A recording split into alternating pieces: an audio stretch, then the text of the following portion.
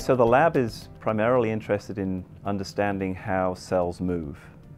Um, we're particularly interested in how cancer cells move.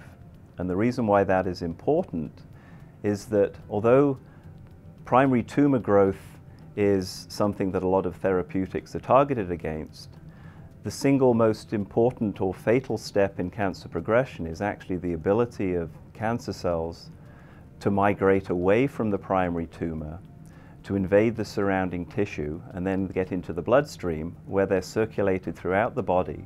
And then they form secondary tumors at remote organs called metastases.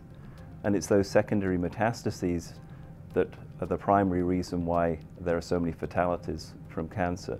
So we, if we can understand the cell migration process that is involved in those tumor cells moving away from the primary tumor, then we may be able to uh, identify therapeutic targets in the future. When I first started working on cell adhesion and cell migration when I was a postdoctoral fellow in, in Dr. Keith Burridge's lab down in Chapel Hill in the late 80s, um, we were really just simply trying to understand how a cell attaches to its surroundings and how it forms a physical link to the actin cytoskeleton within the cell. And at the time, there were only four proteins that had been identified at these sites of cell attachment. And I identified the fifth member, paxillin, uh, while I was in Keith Burridge's lab. And now there are over 200 proteins that have been identified that localize to these sites of cell adhesion. A lot of the work that we've done up to this point has been utilizing two-dimensional tissue culture systems.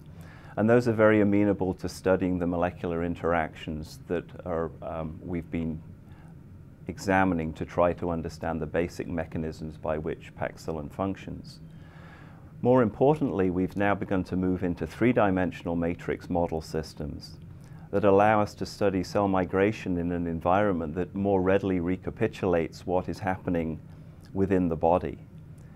And then in doing that, we could potentially identify key regions on these molecules that interact with other proteins and use that as a, as, as a starting point for perturbing the process or blocking the process. The work that we do in the lab may be directly applicable to uh, research that is being done in other areas, especially on campus. For instance, cell migration is important for neuronal cell migration during brain development.